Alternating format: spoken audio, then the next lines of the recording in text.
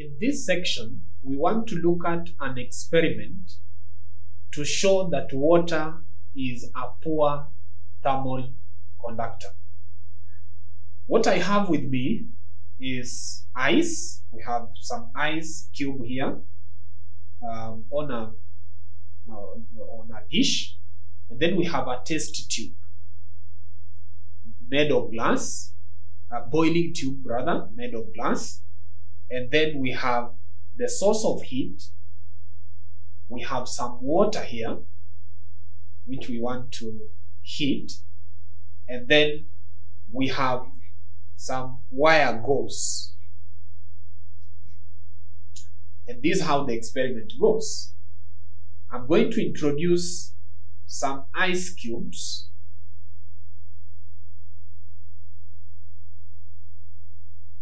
inside the boiling tube and take it all the way to the bottom. And then add water. Uh, before that, we want to have the wire gauze go all the way to the bottom to hold the ice and prevent it from floating when we finally pour our water. You know that ice is less dense than water.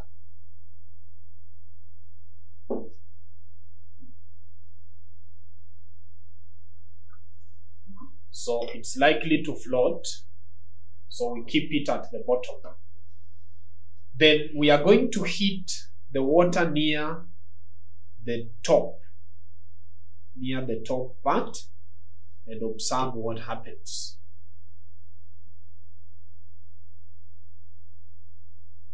So heating water near the top using a Bunsen flame.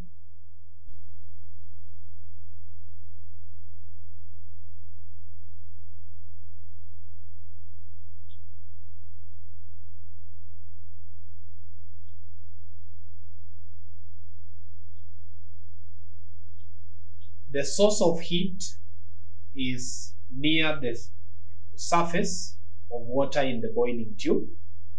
And we can see water uh, begins to boil at the surface while ice cube while ice cube at the bottom is still intact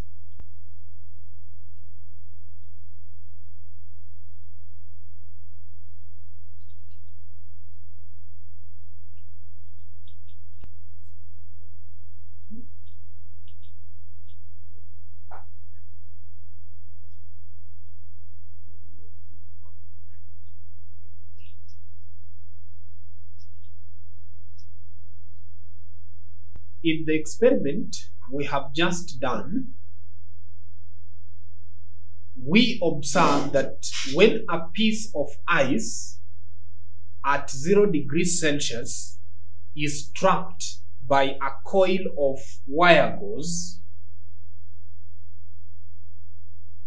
at the bottom of the test tube filled with water, also at 0 degrees Celsius, it does not melt.